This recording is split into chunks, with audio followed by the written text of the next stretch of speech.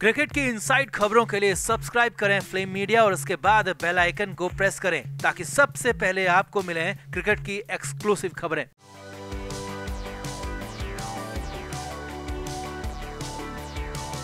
Team India West Indies में है और शानदार खेल दिखा रही है। टी ट्वेंटी सीरीज़ में भारत ने हर मोर्चे पर वेस्ट इंडीज की टीम को पछाड़ दिया और यंगस्टर्स ने तो कमाल का खेल दिखाया। अब इंटरनेशनल लेवल पर अपना करियर शुरू ही कर रहे कुणाल पांड्या ने बेहतरीन खेल दिखाया और उन्हें मैन ऑफ़ द सीरीज़ का खिताब भी दिया गया।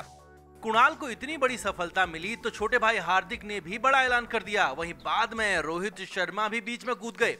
तो क्या कहा हार्दिक ने और फिर रोहित ने क्या कर लिया? आपको सब कुछ बताते हैं आप भी वीडियो को शेयर करें, साथ ही कमेंट बॉक्स में अपनी राय हमें ज़रूर दें। तो कुणाल पांड्या को दूसरे टी मैच में मैन ऑफ़ द मैच चुना गया था तो सीरीज़ खत्म होने के बाद मैन ऑफ़ द सीरीज़ भी कुणाल पांड्या ही बने। कुणाल ने अपने खेल से हर किसी को प्रभावित किया और बड़े भाई की सफलता पर तो हार्दिक पांड्या बलियों उछलने लगे।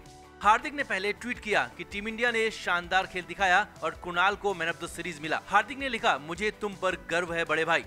अब इतना तो ठीक था, लेकिन इसके बाद हार्दिक पांड्या ने यह भी ऐलान कर दिया कि अगर दो ऑलराउंडर्स की टीम में जगह नहीं बनती है तो वो अपनी जगह बड़े भाई कुणाल को देने को तैयार हैं।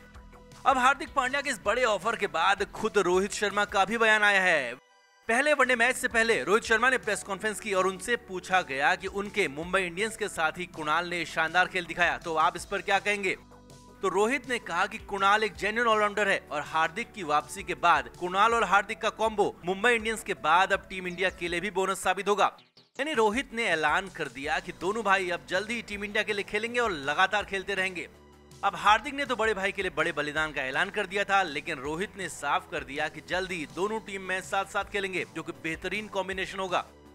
तो आप भी चाहते हैं कि कुणाल और हार्दिक एक साथ टीम इंडिया में खेलें तो कमेंट बॉक्स में अपनी राय हमें ज़रूर बताएँ। साथ ही साथ वीडियो को शेयर करना बिल्कुल ना भूलें। Flame Media report.